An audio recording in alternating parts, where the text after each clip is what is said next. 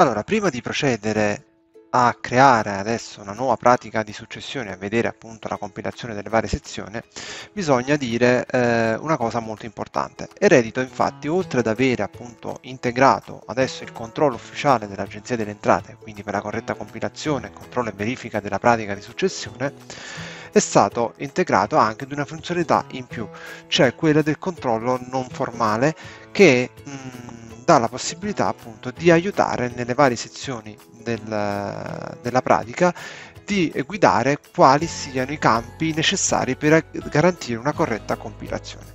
Vediamo innanzitutto come attivare questa funzionalità.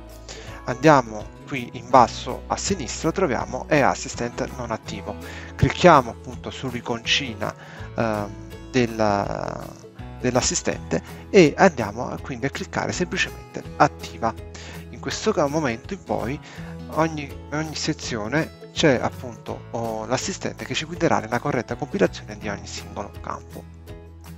Infatti se adesso andiamo appunto a creare una nuova pratica, ok, chiederà ovviamente di fare il primo, uh, il primo salvataggio del file della successione, clicchiamo su sì, si apre quindi la sezione del uh, frontespizio, la parte principale primo, la prima sezione appunto che andremo a compilare che è quella appunto in cui in basso vedremo appunto le informazioni, i dati generali, definisci il tipo di successione legittima, testamentaria o mista.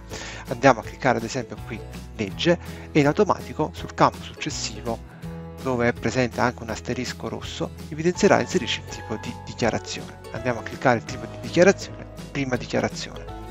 Adesso in questo momento in poi questa sezione del frontespizio è già stata compilata correttamente, quindi sezione compilata correttamente. Potremo procedere quindi a eseguire l'inserimento dei dati del decuius.